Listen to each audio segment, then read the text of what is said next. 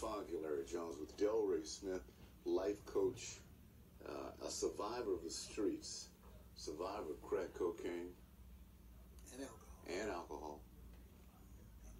Going through the gangs. Now let, us get there because Rudy kind of touched on. We had a caller earlier who, who checked in uh, to commend Dale Ray on, on on on his legacy in the Bay Area, but. Uh,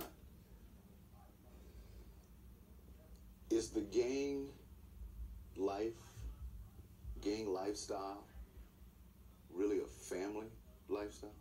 No. Okay. No. It's stupid and it's crazy. Okay. Because uh, I know when I went to state prison, I don't remember now gang member coming to see me. Right. You feel me? Gotcha. No, no, no, no. All that old and all this stuff about this is my hood. Right. This is, God's blocks. I really believe in stuff like that, man. This is, this, I mean, you know what? How you